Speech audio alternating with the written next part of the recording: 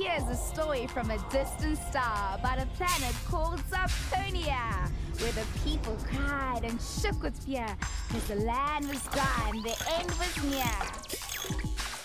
On an urgent mission to put it right, brave young Ziku, day and night, searched through space till in view came a spinning world of green and blue. Welcome to Ziku's Earth Adventure! And this is where it all begins in a world of science and earthling friends.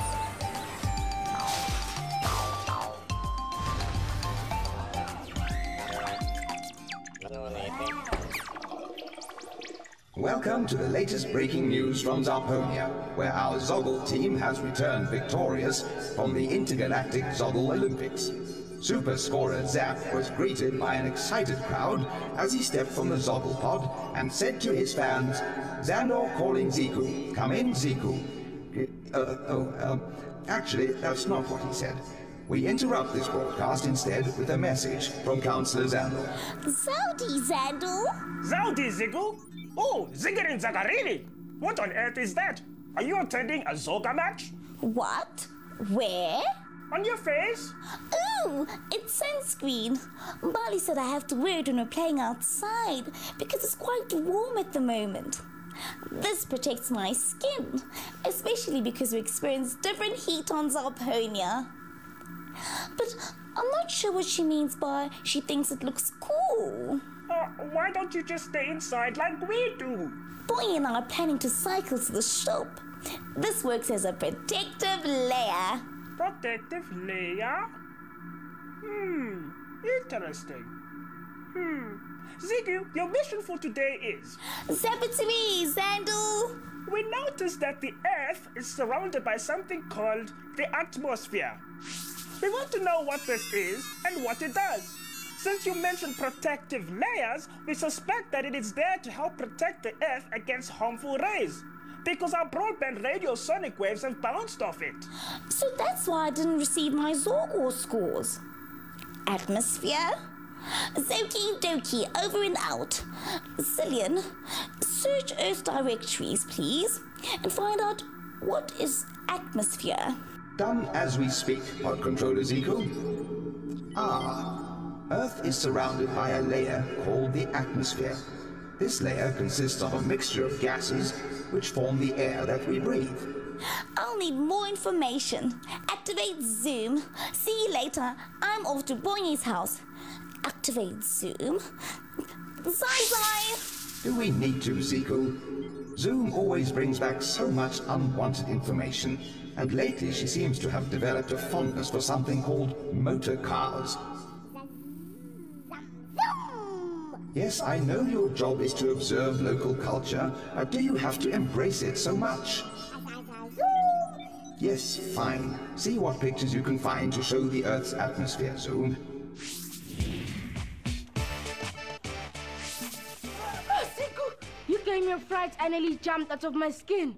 Zowdy, boy, I didn't know you could do that.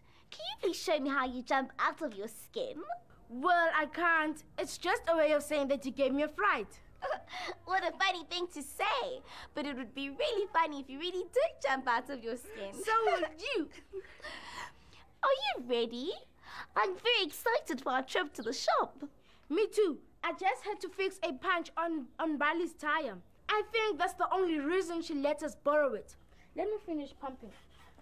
Pump up the tire? With what? I'll fill it with air, Ziku. Ah, like we find in the atmosphere. That's my mission. I need to find out about the atmosphere, what it is, and why it's there. What I know so far is that the atmosphere is a layer that surrounds the Earth, which contains a mixture of gases which forms the air that we breathe. But when I look up into the sky, I can't see anything. How do you know it's there? Sometimes we can feel it when the wind blows. Oh, yes. See, you can feel it. Look at this bicycle tire. It's flat. But when I pump it up, look. Now feel it. this is rock hard. So that means I'll be riding on air to the shop. We learnt about this at school. I can show you a really neat trick to show you that we're surrounded by air. Zoe! Tricks are fun! I'll be back shortly. Come, Ziku, come and see. This is exciting. Ta-da! Behold this is Bongi the Fantastic. You see, Ziku, I'm going to take this book and put it on top of this plastic bag. Then blow air inside. I bet, Ziku, I can lift this book up without using my hands. Zoe, hurry! Like this.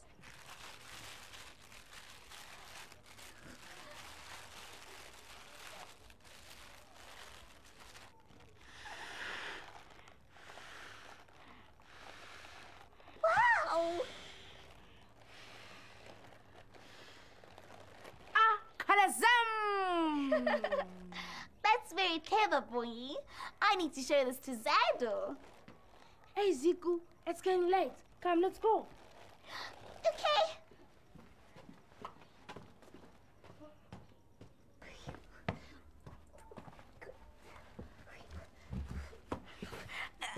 How do you switch this on? Ziku, haven't you ridden a bicycle before? Many times. Um, On Zarponia, they call me Miss Bicycling. I'm just bit rusty. Ziku, I better help you.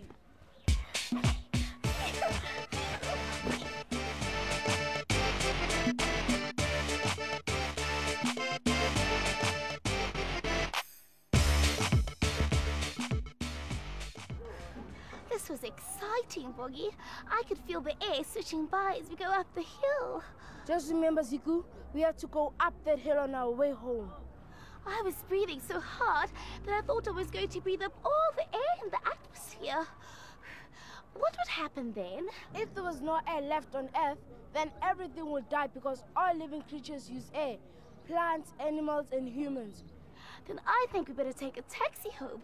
This hill looks like it's going to take up all the air. I don't want to be responsible for everything dying. Don't worry, Ziku. I think there's enough air that we really don't need to worry about. What I wonder is where all the air comes from.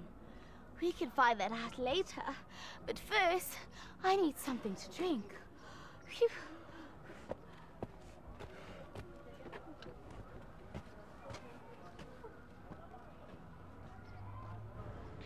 Phew.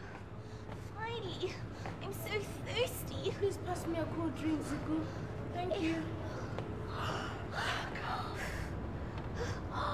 Look at all the ways in which air is used. It's amazing. Hey, Ziku, I definitely want one of those inflatable mattresses when we go swimming at the dam. That's great.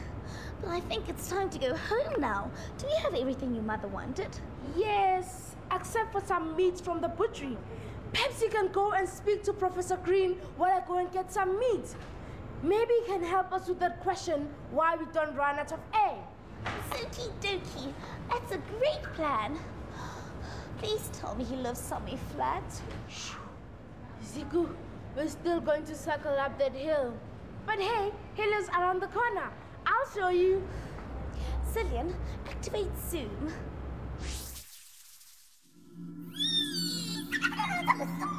Zoom is on her way. That was a clever trick that Bongi showed you, Ziku. He has shown us that air fills up space like it did in the empty packet, as well as in your balloon and the bicycle tire. We also know that air is important to all animals that need to breathe the oxygen in the atmosphere. Their lungs fill with air every time they breathe in. Okay, Ziku, I'm ready to receive your broadcast from Professor Green.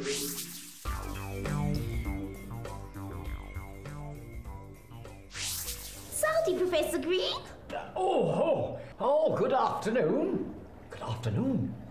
What the dickens happened to the morning? Well, I think the same thing that happens every day. It became afternoon. Oh, yes, yes, yes, yes, that, that, that makes sense. Yes, I dare say you're quite right, yes. now, what can I do for you? Well, my friend Bongi said that you might perhaps be able to help me with some research. I've already learned that the Earth has an atmosphere that's made up of different gases. Oh, yes! Oxygen and uh, nitrogen and uh, carbon dioxide. Oh, I'm just busy with an experiment. Um, these gases, oxygen, gin, Oxygen. And nitrogen? Nitrogen. Oh. Yes, nitrogen, no, nitrogen, no, all these gases make up the air in which living things need in order to survive. oh, yes.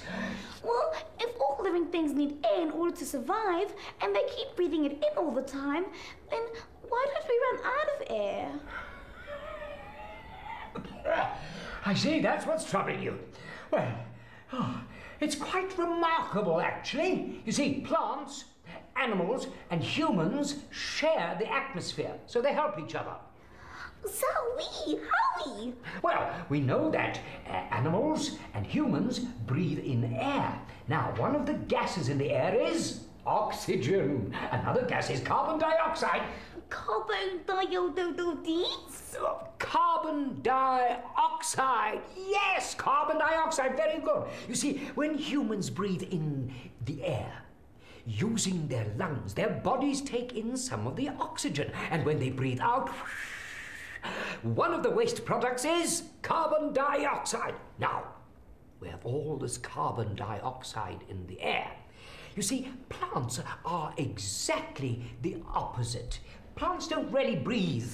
So, what they do is they take in the carbon dioxide and release oxygen. I see. So you mean that plants and animals look after the atmosphere for each other? Yes, you see, one depends on the other. I mean, I mean, uh, one depends on the other. So we we breathe in oxygen and plants give off oxygen. So that means that plants are very important to us because they prevent the air from running out. Yes! So important that they have even called the forests and the jungles of the world the, the, the, the Earth's lungs because they put so much of this oxygen back into the atmosphere. Thank you very much for all the information, Professor. Can I please help you with your experiment? Oh, yes. Oh, what fun. Now, here, here's a couple of straws. You can take one of those. What you have to do is blow the ball in from that side into this area and stop me blowing it from this area into that. What do you say? What a strange experiment. Some people call it blow football, but I prefer to think of it as testing the effects of wind on the globe. Ready?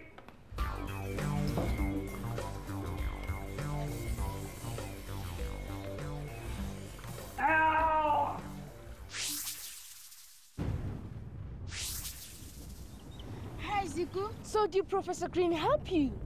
Oh, yes, he explained it all to me. We breathe in air and plants breathe out oxygen.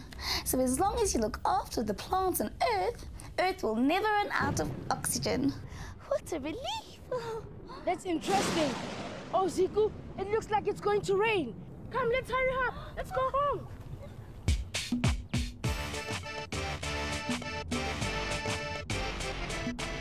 Oh, Ziku, just in time. How did you know it was going to rain? I saw the clouds. Clouds? Is that those funny white things in the sky? What are they made of? Clouds are all part of our atmosphere. They're made of tiny, tiny drops of water that are in the air. I didn't know that there was tiny droplets of water in the air. Look what happens when I blow on this window pane. See? Look, zoinks! It's all misted up. Do you know what mist is? Tiny droplets of water.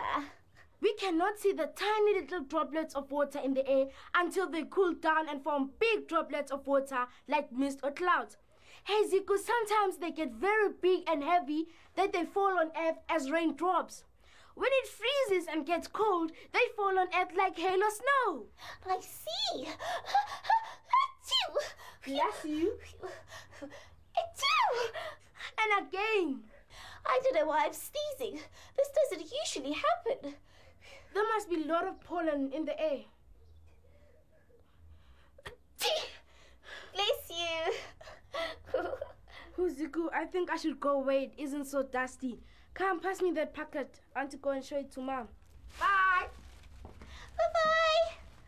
Hey, Wee. Hello. Hi, Ziku. I'm glad to see you followed my advice about the sunscreen. I don't think I need it anymore in the rain. I can understand why we don't want to get wet in the rain, but why do we need to protect ourselves from the sun?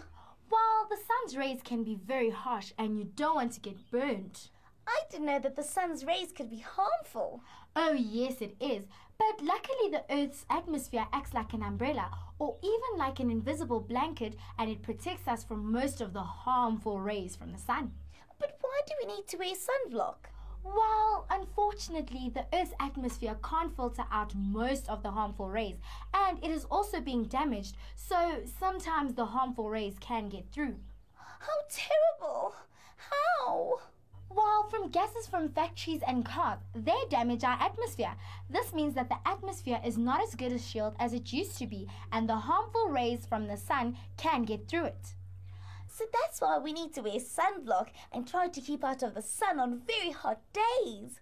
So that's why the atmosphere is very important. Mm-hmm. We have to look after our atmosphere because it acts like a blanket, remember, keeping in all the warmth from the sun at night and keeping out the cold. Zooting Zigabuff. So even though we don't see it all the time, the atmosphere contains a mixture of water vapor as well as small amounts of dust and pollen. I need to report to Zandor now. See you later, Mbali. Thank you for all the information and for the bicycle. Bye. Receiving information. Calling Xandor. Come in, please, Xandor. Zowdy, Ziku. I see you have succeeded with today's mission. Well done. Yes, Councillor Zandor, I have important information on the Earth's atmosphere, and Zillion is ready to transmit. Let's see what you have achieved in today's mission. Zap it to us, Zillion.